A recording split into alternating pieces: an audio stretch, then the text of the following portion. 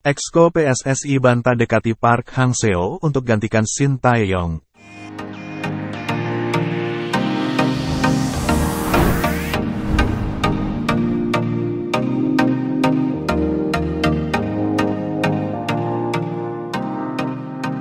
PSSI membantah tengah mendekati mantan pelatih Vietnam, Park Hang-seo, untuk menggantikan posisi dari Shin Tae-yong di timnas Indonesia. Hal tersebut diungkapkan oleh anggota Komite Eksekutif, Exco, PSSI, Arya Sinulinga. Kini Park Hang-seo sedang berstatus tanpa klub. Sebelumnya, Park Hang-seo menolak untuk memperpanjang kontrak dari Federasi Sepak Bola Vietnam, VFF. Pelatih berusia 64 tahun tersebut menukangi tim nasional Vietnam sejak Oktober tahun 2017 hingga Januari tahun 2023. Meliputi level umur U22, U23, dan senior. Selama bekerja dengan VFF, Park Hang-seo mampu mempersembahkan sejumlah gelar. Prestasi yang dimaksud, Piala AFF 2018, Piala AFF U23, 2022, juara SEA Games 2021. Tidak benar, PSSI mendekati Park Hang-seo, kata Arya Sinulinga, Senin, tanggal 18 Desember tahun 2023. Awalnya, isu PSSI yang tertarik menggunakan jasa Park Hang-seo disampaikan oleh media Vietnam, Soha.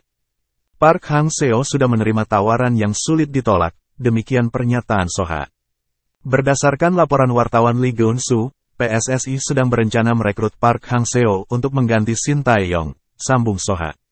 Sejatinya, kontrak Shin Tae-yong dengan PSSI masih berlangsung hingga Juni tahun 2024.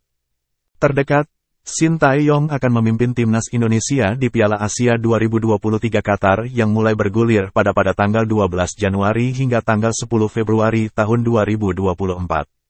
Di Piala Asia 2023, skuad Garuda menghuni grup D bersama Jepang, Irak, dan Vietnam. Pada laga perdananya, timnas Indonesia berjumpa Irak, Senin, tanggal 15 Januari tahun 2024. Setelah itu skuad Garuda melawan Vietnam, Jumat, tanggal 19 Januari tahun 2024. Jepang menjadi lawan terakhir timnas Indonesia di grup D, Rabu, tanggal 24 Januari tahun 2024. Dalam menatap Piala Asia 2023 ini, timnas Indonesia akan menggelar TC di Turki. Rencananya, timnas Indonesia bertolak ke Turki pada Rabu, tanggal 20 Desember tahun 2023.